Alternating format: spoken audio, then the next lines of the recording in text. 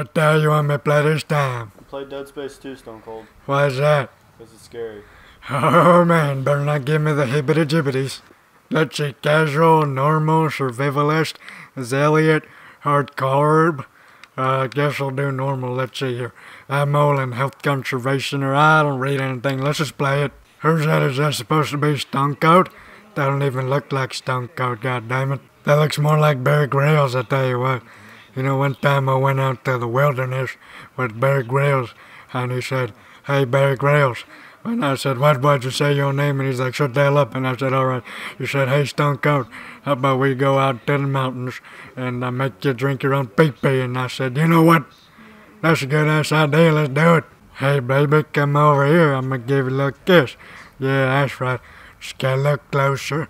Just give you a little kiss on the cheek. Just like so. Hold on. Hold on, back off. You got ravioli all over your hair. Maybe you stick sour first. Oh, you're smiling. All right. You know what? You got pretty uh, okay. Whoa, god dang. I think you. Well, there's some sort of alien there sucking out his brain. But I tell you what, this is not the scariest thing. Okay, now it's starting to get scary. Hey, look, it's Professor Xavier over here. Whoa, Professor Xavier, stop trying to read my mind over here. You got some grape juice all over the floor.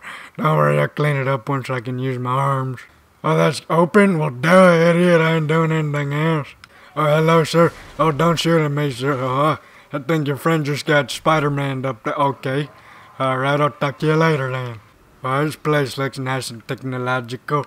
Well, I'm just gonna sit down and stare for the rest of the game. Bye, everyone. So, do you wanna see?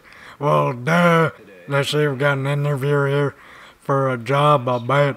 Hey, wait a minute. He's wearing the same thing I'm wearing. Does that mean he wants to take my job? God damn, I'm gonna go rescue my job, or I'm just gonna take a nap.